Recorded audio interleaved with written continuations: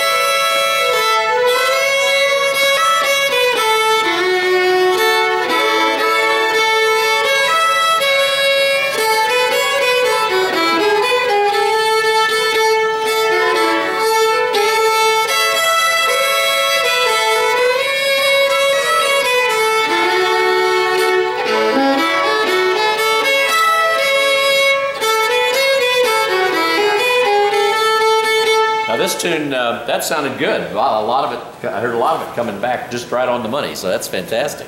After one go, that's not really all that easy a tune to play. Um, this is one of those tunes where it's a good time to say something about playing unisons. In other words, playing an open string and the note below that's the same. Uh, almost without exception, uh, and I say almost without exception, there are some places where it's just not convenient, but if you're playing a held open string, it's nice to double it up because you know a held open string sounds just kind of thin, you know, because you can't do anything. It's got no uh, uh, difference in tone. You can't play with the with your finger vibrato, nothing. So if there's an open string, I like to play this doubled up. Try that. Just find that. Find the A with your fourth finger on the D string.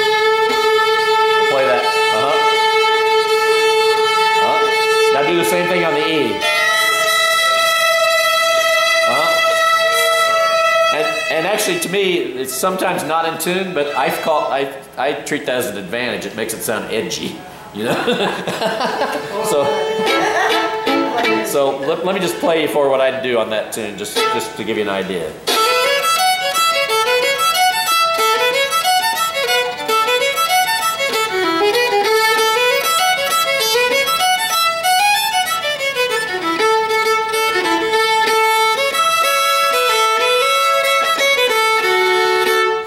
I'm getting this little thing.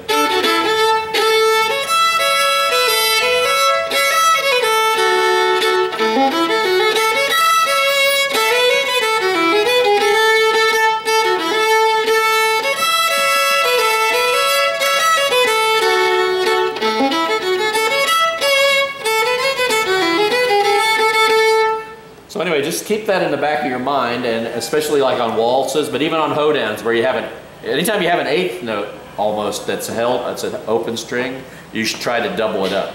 You wouldn't on, you know, run a 16th notes, but anytime there's like an eighth note, you can double it up. So, and as we, opportunities present itself, I'll remind you about trying to think about doing that. And there's something you can do to practice that too. Like say, usually when you go to that open string, you're coming from a note below. Like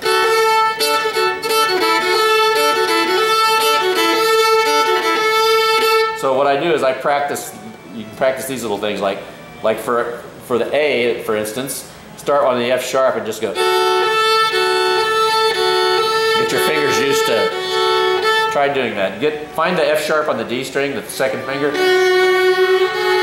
then play that, play this, this chord, play this chord, F sharp and open A, and now find the unison.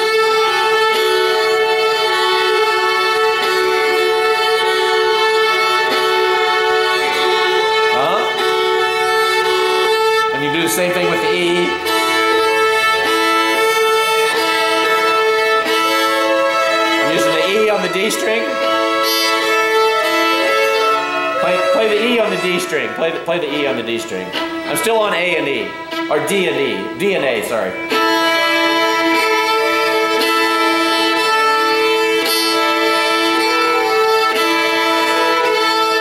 So what you can do as a little exercise, you can do this, you know.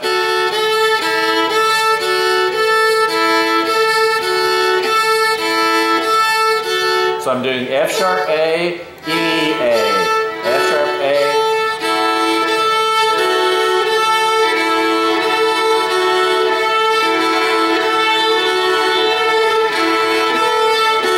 And if you're bold, you can throw in the third finger, do, do from G sharp to A. I'm playing G sharp on the D string. Find that note. Now put the A, the four finger in front of it.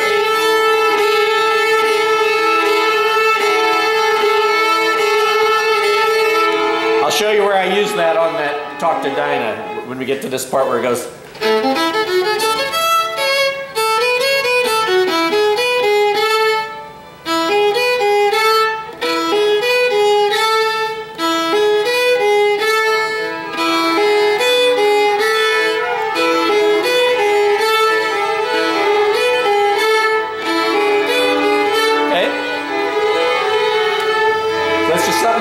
Play with. It's, it's going to take quite a bit of practice to get that down.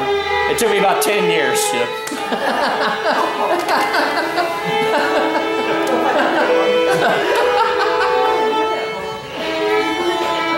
So, so, so now uh, you can do the same thing. I'll just show you. You don't have to do it, but I'll show you. You can do the same thing on with the E. So you, sometimes you'd use the E for that. Same thing. You know, I'm doing now. I'm doing C sharp E, B.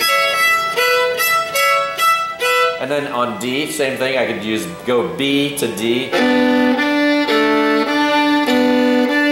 Like if I was playing Arkansas Traveler, you know, instead of going like if I played it uh, without that, it'd be like this. But now I've got.